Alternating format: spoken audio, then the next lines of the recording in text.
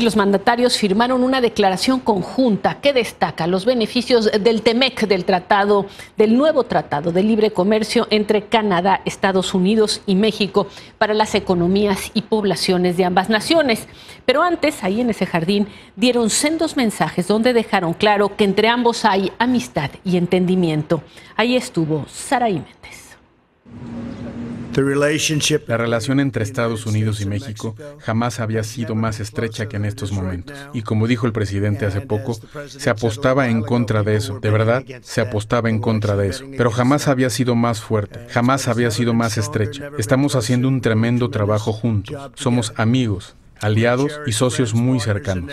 Nuestra cooperación se cimenta en la confianza y el respeto mutuo entre nosotros dos y entre nuestros dos países y honramos la gran dignidad de ambas naciones.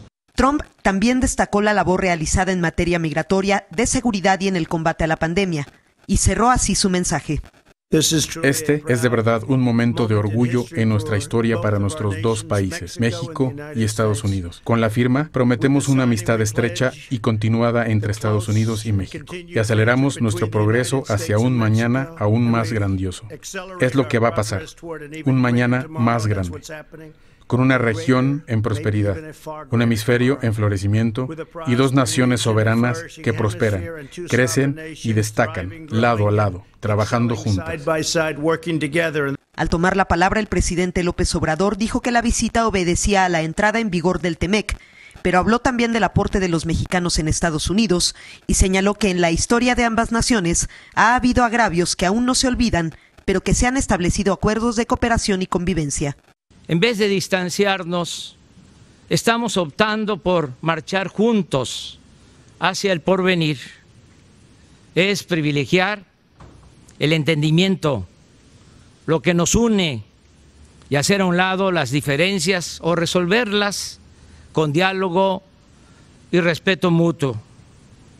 Ciertamente en la historia de nuestras relaciones hemos tenido desencuentros y hay agravios que todavía no se olvidan, pero también hemos podido establecer acuerdos tácitos o explícitos de cooperación y de convivencia.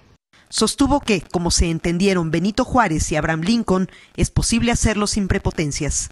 Presidente Trump, como en los mejores tiempos de nuestras relaciones políticas durante mi mandato como presidente de México, en vez de agravios hacia mi persona y lo que estimo más importante hacia mi país, hemos recibido de usted comprensión y respeto.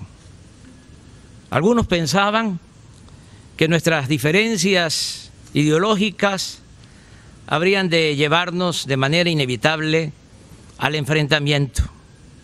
Afortunadamente, ese mal augurio no se cumplió y considero que hacia el futuro no habrá motivo ni necesidad de romper nuestras buenas relaciones políticas ni la amistad entre nuestros gobiernos. También hizo esta consideración a Trump. Quise estar aquí para agradecerle al pueblo de Estados Unidos, a su gobierno y a usted, presidente Trump, por ser cada vez más respetuosos con nuestros paisanos mexicanos. A usted, presidente Trump, le agradezco su comprensión y la ayuda que nos ha brindado en asuntos de comercio, petróleo, así como su apoyo personal para la adquisición de equipos médicos que necesitábamos con urgencia para tratar a nuestros enfermos del COVID-19. Pero lo que más aprecio es que usted nunca ha buscado imponernos nada que viole o vulnere nuestra soberanía.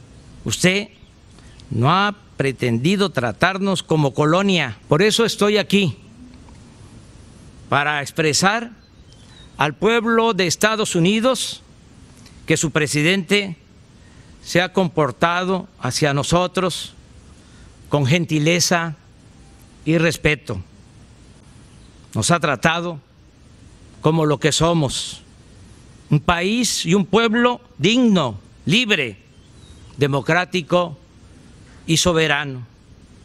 Que viva la amistad de nuestras dos naciones. Que viva Estados Unidos de América. Que viva Canadá.